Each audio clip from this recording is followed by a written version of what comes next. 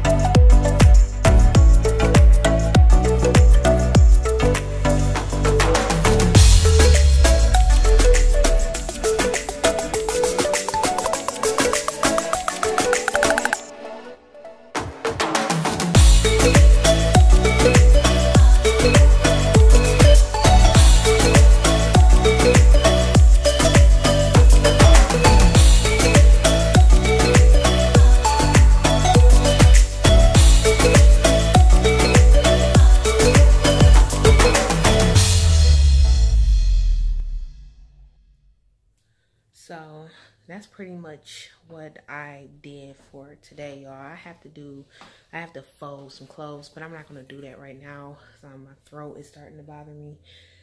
So that's it. I am going to catch up on Teen Mom.